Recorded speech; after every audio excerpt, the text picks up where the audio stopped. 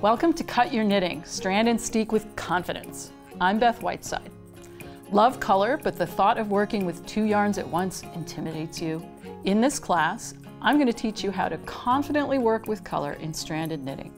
And I'm going to show you techniques for foolproof steeking. So, a little bit about me.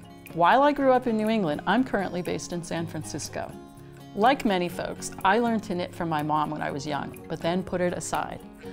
While working in software, a friend reintroduced me to knitting, and that was that.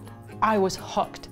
I changed my career and now use my analytical skills creatively in the wonderful world of string. First, I'll give you an overview of stranding and steeking.